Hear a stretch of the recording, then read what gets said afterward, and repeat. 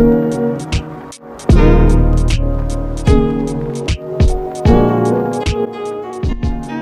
let's jump straight into the deets of this hair. So this hair is from Bobbi Boss and her name is Maisha and I have her in color number 1B. This actually looks more like a number 1. This is a really, really dark 1B, but either way, sis, she's cute. You guys, this is probably the quickest video I've ever done. Normally it takes me like forever to record a little five minute video, but this legit took like one, two, three, and I'm loving it because although I love me some wigs, okay, I love when I could just get up and go, okay? I love when I really don't have to do that much work to a wig. As soon as you take it out the pack, she's ready to wear. Like, and that's what I love about full cap wigs. So this unit does have a natural finish. It says it has some lace in the middle for it to, I guess, look natural.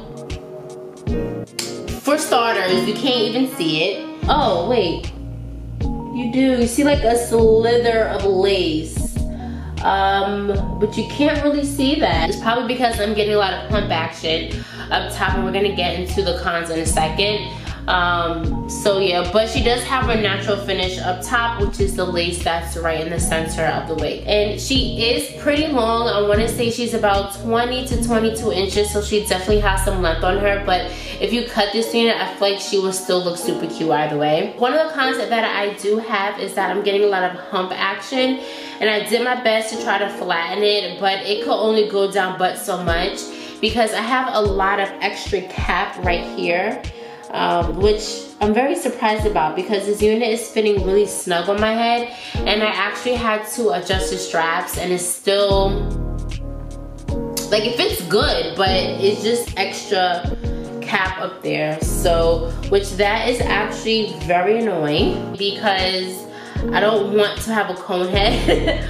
um, like, do you even like, I don't know, I feel like it just makes such a big difference. Like when I hold it, you see how it goes away and then there it goes. So um, I used some heat on her to try to tame it down the best way I can. But I mean, it's just extra cap. So that's a con because this unit does come with lace in the middle and you really don't see it unless you go all the way, all the way up close. So the lace to me is kind of pointless right now. I feel like if I didn't have this extra cap, you would notice the lace up top. Um, maybe, I don't know. But this extra-ness up top is driving me crazy. And it doesn't matter how far I pull this wig down, I still have the hump action going on. So that's really the only kind that I have of this hair. Other than that, okay, Miss Maisha is cute. I really love the body waves in it. It just adds that, you know, sexiness and I love the fringe bangs. Um, it just makes the bang look really natural. Um, but yeah, this unit is a good buy. I mean, despite the con, I feel like she's still a good buy. I just love the fact that she is just so simple and she's just sexy and it's a nice little switch up. You know, I haven't worn a bang in God knows how long. Oh my gosh. Guys, definitely pick her up and she comes in a few different colors. I'm gonna leave a full description of this wig down below as well as the link where you dolls could check this wig out and of course okay make sure you join gang gang to see when your girl drops my heat and i'll see you dolls back in the next one